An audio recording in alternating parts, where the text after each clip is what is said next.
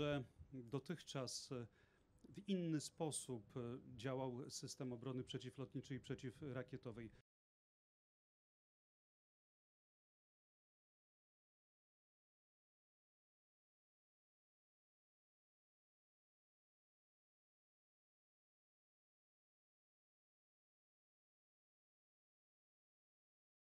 Jeszcze w czerwcu te zestawy trafią na dyżury, a więc będą broniły polskiego nieba przed e, ewentualnymi atakami e, przy użyciu czy to rakiet manewrujących, e, czy to dronów.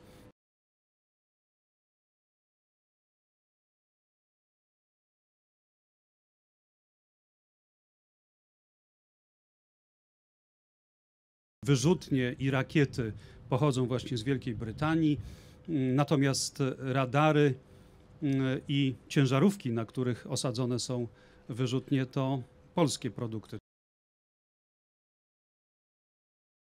Jedna wyrzutnia może razić równolegle, jednocześnie 8 celów. W przypadku broni postsowieckiej wszystkie wyrzutnie były skoncentrowane na jednym celu.